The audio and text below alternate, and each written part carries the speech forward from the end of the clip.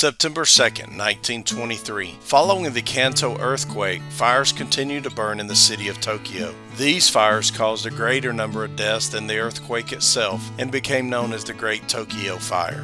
1945, Japan formally surrenders to the Allies, bringing an end to World War II. This is the day VJ Day is celebrated, or Victory in Japan Day. Also in 1945, Ho Chi Minh declares the independence of Vietnam from France. France forces seize southern Vietnam and open talks with Ho Chi Minh, but these talks collapsed in 1946 and French warships began bombarding the northern Vietnamese city of Haiphong. 1948, American school teacher Christa McAuliffe, who was chosen to be the first private citizen in space, was born. She and six other crew members died when the Space Shuttle Challenger exploded shortly after liftoff in 1986. 1954, President Eisenhower has signed into law the new Social Security bill providing much wider coverage, and it includes 10 million additional Americans with additional benefits. The cost will be financed by additional payments into the Social Security Fund by both employers and employees. 1969. The original Star Trek airs its final episode after running for only three years and never placing better than 52 in the ratings. But it did become a cult classic, spawning movies and other series based on the original.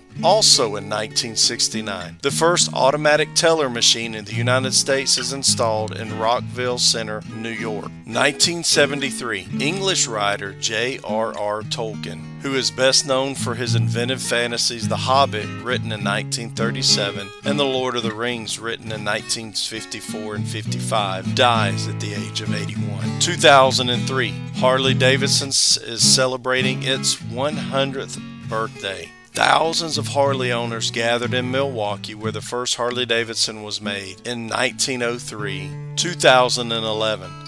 Apple wins in court in Dusseldorf and the sale of the Samsung Galaxy Tab is banned in Germany. These are just a few of the things that have happened today, September the 2nd in history. This has been Mr. Scott with Today in History. Thanks for watching.